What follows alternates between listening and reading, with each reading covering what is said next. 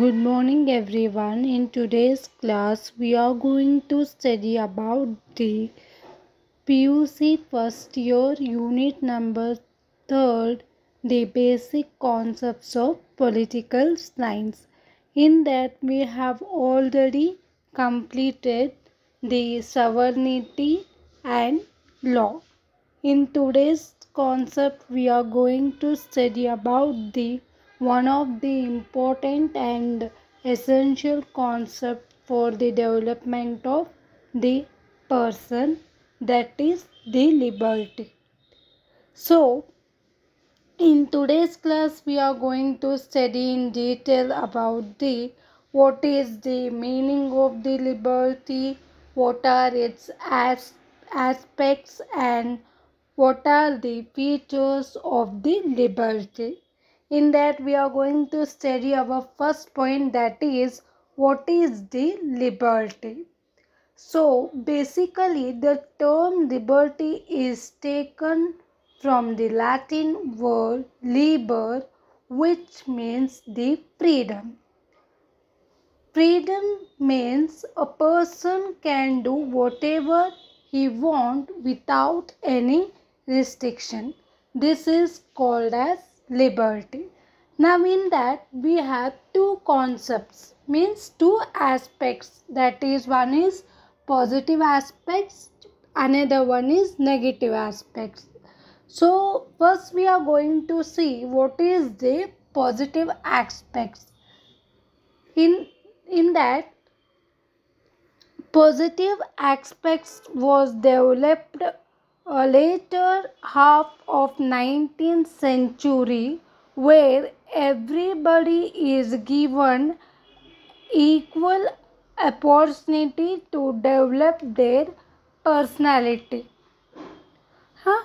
positive liberty means a person can do anything with some restriction is called as positive aspects of the liberty this concept was developed by T.H. Green, Laski, and Barker.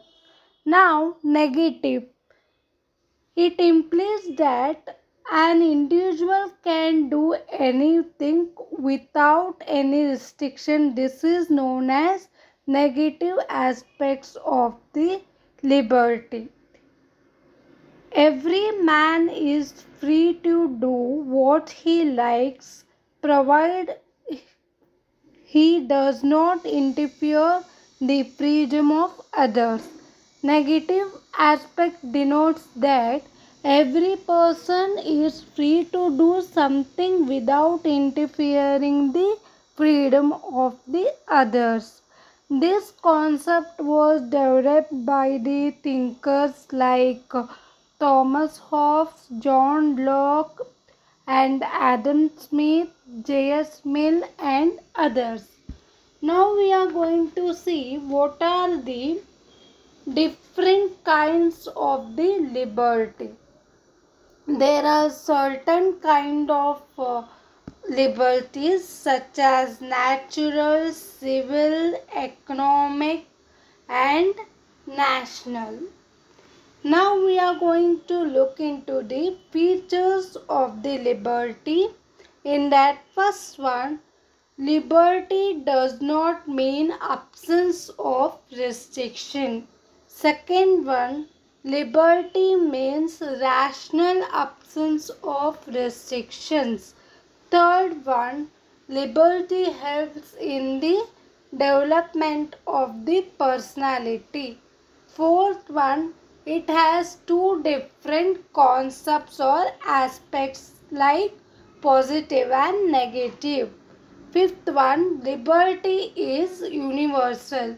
Means the concept of liberty is applicable to all.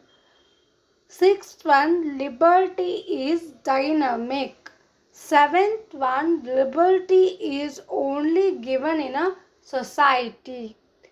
Eighth one, democracy protects the liberty. So this is all about the meaning, definition, aspects and the features of the liberty uh, will end this section here.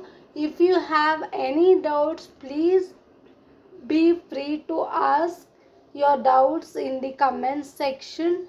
I will clear your doubts in my upcoming section and please do subscribe to my channel for more interesting videos in the upcoming section.